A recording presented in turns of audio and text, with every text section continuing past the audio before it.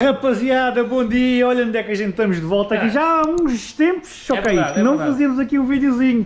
A malta andou-me a cobrar e bem que eu fiz o unboxing do material da Temo e acabámos por não montar este rádio. Mas deve-se a, a vários fatores. Eu não andava sem tempo, o amigo David, vocês apertam com ele à brava. O homem já não tem tempo para os, para os youtubers. para os youtubers. Então, ah, pá, peço desculpa, demorámos um bocado mais cá conta ah, e corremos o risco de este rádio já não estar à venda propriamente este Sim, modelo. este modelo. Mas a Temo também me disse logo, quando eu fiz o primeiro vídeo, eles mandaram mensagens e pá, olha, correu muito bem o vídeo, a malta aderiu ao material todo eh, e até tinham na altura esgotado o rádio, eles disseram logo, esgotou o rádio na altura e que iam repor. Não sei, entretanto, se, reporam, se repuseram se não, mas certamente se não houver este modelo específico, haverá um muito parecido e que encaixa ali. David, é comum haver estes rádios Sim, Android com o desenho o Volkswagen, carros. sim, porque montas em imensos carros, desde Leões, Toledos, Alteias, uh, Passates, Golf 5, Golf 6, Charans até 2014. Epá, é O layout carros. é- é- é, é sempre, é, é sempre, se- é é sempre sempre igual. aqui. É, exatamente. Há com botões, há sem botões, porque sem botões fica um ecrã maior. Mas eu sinceramente gosto, gosto particular, gosto mais parecido. porque fica muito parecido ao original. Sim, não há se tanta a aquela... malta for ver aqui, este é o modelo que tem, men- tem daquele três botões de cada lado, mas há, há daqueles rádios. O, o, o RNS 510, é assim que se diz, não é? Olha, não sei. Sim, mas um, eu sei que no meu primeiro passado CC o rádio tinha também assim quatro botões de cada lado, ou cinco botões de cada lado, não era igual a este, era mais evoluído que este. Este, este rádio que eu tenho neste passado CC é, acho que é a versão mais fraca de rádios. Do carro não, o carro é muito forte. Um canhão, um canhão, barraco. Mas agora acho que esta versão de rádio acho que é a versão mais fraca destes modelos. Mas agora o amigo David vai fazer aqui uma instalação daquelas Vamos brutais, embora. como o homem sabe. Isto vem, olha, traz o rádio, Traz, traz muita coisa. Traz muita coisa. Aqui temos a cabelagem, que inclui cabelagem de câmara de marcha atrás, inclui Não, cabelagem. a, a câmara está, está aqui. A câmara está aí, diga cabelagem para ligar. Ah, vem aqui, câmara, ficha, eh, traz o microfone, traz a antena de GPS. Aqui vem a cabelagem para a alimentação do rádio. Eles mandam sempre duas, porque aí está, como isto equipa muitos modelos, depende Pode ser uma ou outra. Pode ser uma ou outra, exatamente. Aqui vem a câmarazita, pronto. E agora é. Tal, tal, tal, tal. Vamos embora. Vamos fazer a desinstalação, Desinstalação e instalação. instalação. Vai, vocês ficam por aí, fi- fiquem por aí. Subscrevam já aqui as redes do David, que o homem é aquele lado. e vamos ver se ele tem tempo para o youtuber para outros vídeos. Vai, David, perda contigo. Antes de continuarmos aqui, o David quer vos deixar com uma dica de borla. É uma dica de borla. Esta é, esta é de borla, atenção. Então é assim, estes rádios, estes carros que trazem esta informação aqui do airbag do passageiro, ah, não são todos, por exemplo, o Golf 5 não traz, mas ou seja, já traz e há de haver outros modelos que tragam. Quando nós vamos ir fazer a instalação do rádio, das duas uma, ou deixamos aqui pendurado, mas corremos o risco, pá, isto é tudo cinzento, isto não é bem cromado, é um cinzento e de riscar, o que é que eu faço? Eu desligo sempre, tiro sempre fora. Pronto, desligo aqui a ficha e tiro fora. Agora, eu ao ligar a chave, a unidade de airbag vai reconhecer que isto não está ligado e vai dar uma avaria ali de airbag. Que se não tiverem máquina de diagnóstico, é pá, não desliguem, porque senão depois tem que ir pagar alguém para. Para apagar o erro. Para é? o erro, Como o. David aqui tem tudo como na farmácia. É. Epá, eu prefiro desligar sempre, tenho a, máquina, tenho a máquina de diagnóstico e trabalhamos mais à vontade. Mas se não tiverem, não desliguem. Baixem só e ponham Sim. um paninho para É, não arriscar. para não arriscar, e siga. Vai, boa dica. David.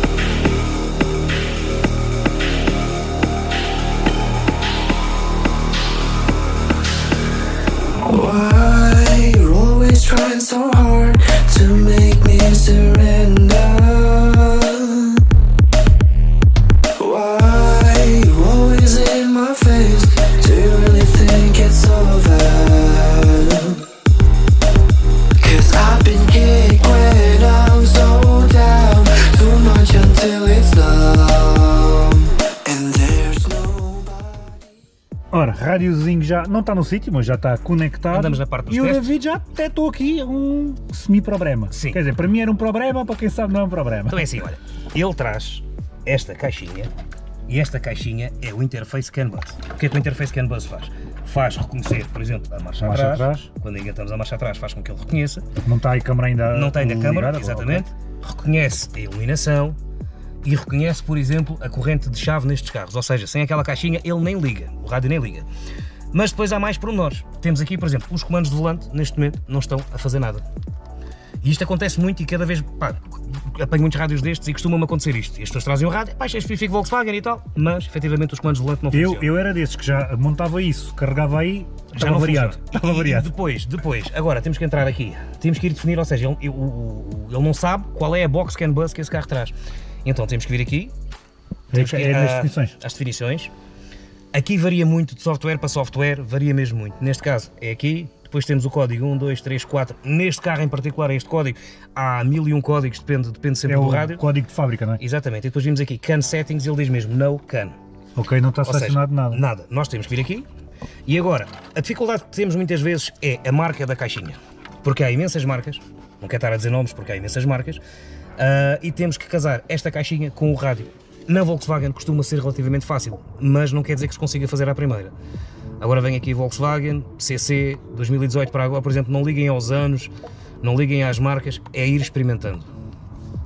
Basicamente, é Eu ir passou experimentando. esse aqui de carro. É aqui mesmo o passado CC, sim, sim. Por exemplo, já temos. Correu bem à primeira. Isso que detecta o, o carro? Deteta, neste caso está a detectar até, ele deteta até os comandos daqui do ar-condicionado, é a grande aquecimento de bancos e por aí fora. Isso depois vai variar consoante o software do rádio. Este em particular reconhece o ar-condicionado, por exemplo, vou desligá-lo. Reconhece também, de certeza, não experimentei ainda, mas normalmente reconhece. Não, olha, este não te diz a abertura de portas, por exemplo. Mas o de origem também não dizia. Mas há uns que dizem, tu, há, há uns que instalas e dizem, epá, não há um que seja igual ao outro. No fundo, as aplicações são todas as mesmas. Aqui, neste momento, já temos comandos de volante a funcionar. Pronto. Mas tenham atenção sempre a isso. Muitas vezes as pessoas telefonam, epá, o rádio veio variado, não funcionam os comandos. Não, muitas vezes é só o casamento desta caixinha Dessa box com o o rádio. próprio rádio. Exatamente. O David, segunda dica de Boro. segunda dica de Boro. O homem está aqui, está do É de desemprego. é de aproveitar que eu, sou, eu estou em hoje estou promoção. generoso. Está em, está, em, está em promoção. Por agora está assim. Bem, vamos continuar a montagem? Vamos para a câmara mais atrás agora. Vamos embora.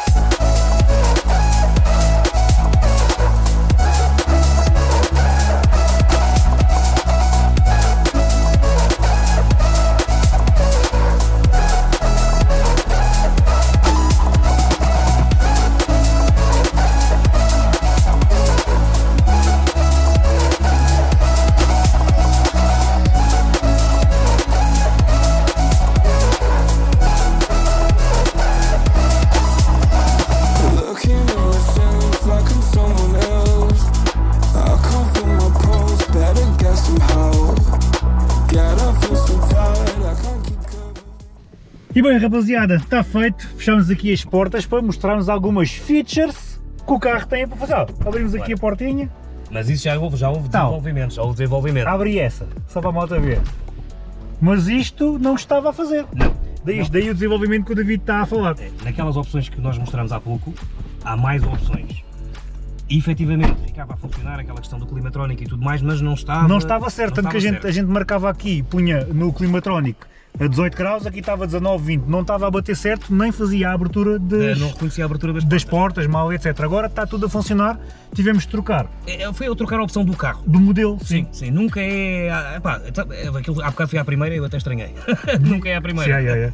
Ah, mas pronto, olha, também podes mostrar já aí. a- Sim, agora já temos também a marcha atrás a funcionar. Olha aí, coisa mal linda.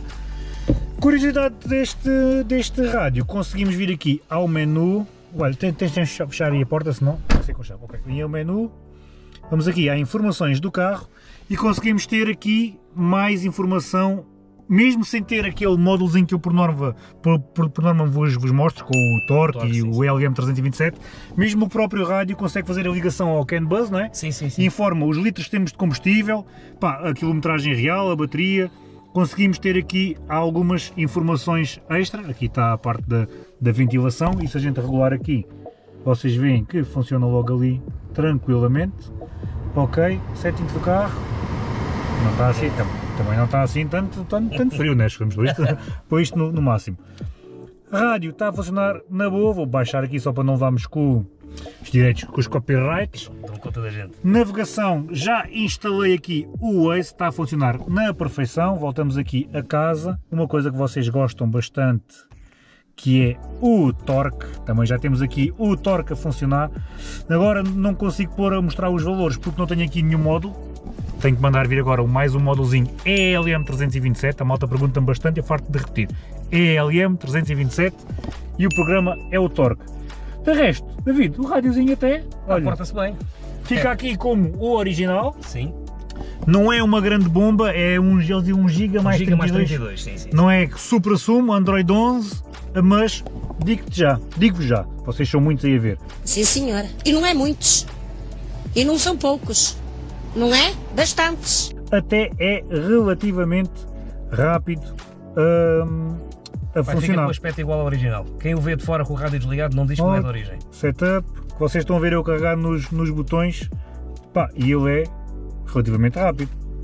Não está aqui muito a mastigar muito para conseguirmos ter as funções.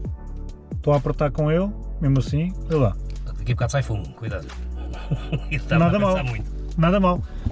Bem, eu já tinha deixado na descrição este rádio no vídeo de, eh, de unboxing, ficou o rádio, mais umas coisas na descrição. Vou deixar novamente, lembrando, se não tiver este modelo disponível, é só vocês darem mais uma voltinha. Mas eu, de qual- qualquer forma, vou procurar nos sites que eu tenho eh, parceria, Temo, Banggood, etc. E vou deixar mais exemplos na descrição. Basicamente, é, se for destes, chegarem a montar, tem essa vantagem, ligam logo o CAN Buzz e o rádio fica a funcionar na perfeição. Agora já podemos andar aqui tranquilos como eu gosto de andar com os meus carros, é aqui com o nosso torquezinho. Só pôr o módulozito e já fica a funcar. Tal David, à maneira. Deu um bocado de trabalho a câmara de marcha atrás? Sim, não é, é o que dá mais trabalho. Estes rádios, neste, neste, neste modelo em particular, em que é só efetivamente retirar esta frente, tirar quatro parafusos, se isto for um trabalho de fazerem vocês em casa, não, é pá, isto não tem nada a saber. Neste modelo em particular, se for um Golf 5 já dá muito mais trabalho, se Sim. for um Leon, um P, dá muito mais trabalho, mas nestes em particular, olha, as Turans desta geração, os Passat, pronto, com esta configuração, é fácil tomar atenção só à questão do airbag, nós já apagamos a luz que ficou acesa. Ah, de resto é só encaixar a câmara de marcha atrás, bricolagem. Bricolagemzinha, tem ali uns, uns truques para passar cabos e coisas, mas ficou tudo a funcionar. Mostra aí mais uma vez, mete aí marcha atrás. E tal. Tem tudo como na farmácia. Malta, na descrição vou deixar também aqui o link do amigo David, os contactos dele. Já sabem, rádios, alarmes, RGRs. Atenção, o David agora está muito forte na parte da eletrónica automóvel. eletrónica também. Eletrónica automóvel. Adicionamos isso em parceria com a ZM Performance, onde instalamos o, o alarme do teu Del Do Sol. meu Del Sol, sim. E temos muitos trabalhos, uh, fazemos tudo o que seja soluções de partículas, EGRs, aumentos de potência, AdBlue. Portanto, por se fora. aquele toquezinho do. Pá, para o carro ficar a gastar aquele bocadinho menos, a dar aquele bafinho extra, sem partir, sem passar das margens do- dos carros, aquele toque como eu tenho, por exemplo, no meu Toledo. Aquele toquezinho suave. Dá um cheirinho a mais, o carro gasta menos e fica eficiente. Sim, o chefe da vida agora está, está a entrar nesse mercado e está, está forte, está forte. Graças a Deus temos tido muito trabalho nessa área, pronto, cada vez mais. Boa, boa. Às vezes é difícil é chegar a todo o sítio, mas tentamos. Malta, fiquem bem, um grande abraço, David. E um Grande gás. Obrigadão mais uma vez e pronto, está feito. Está despachado. Mais um.